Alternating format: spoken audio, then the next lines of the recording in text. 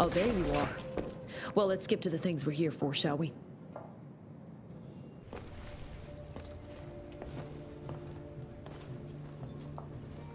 The creature you found in the Devil's Pass is essentially an oversized leech, a bloodsucker of sorts. Its stomach acids prevent blood from coagulation. So it's like a living container? Precisely.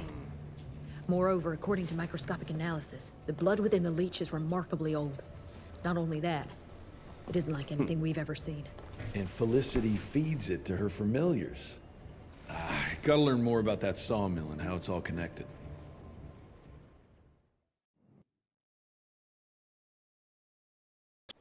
The McCallum sawmill was founded in 1845 by Elijah McCallum, definition of a small-town family operation. After Elijah's death two years ago, the mill was bought out by an investor representing the Andalusia Financial Services Group. Conglomerate of banks, oil fields, railways, you name it. What does a big fish like that want with a shitty little sawmill on the ass end of nowhere? It's unclear. Purchase itself was entirely above board. What about the forest? Old native ritual sites, burial mounds, anything? Nothing a note, no. Well, guess I'll just have to figure this out on my own then. Thanks for your time, Dr. Blackwell. I hope... I live to serve, sir. I'll get back to my research now.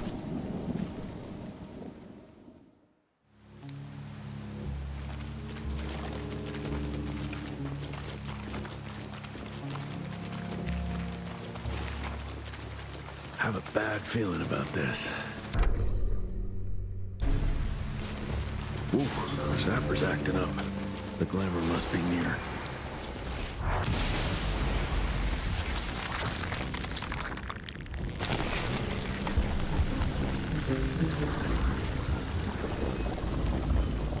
Holy shit. Chester did say something about the source of the glamour. This must be it. The source.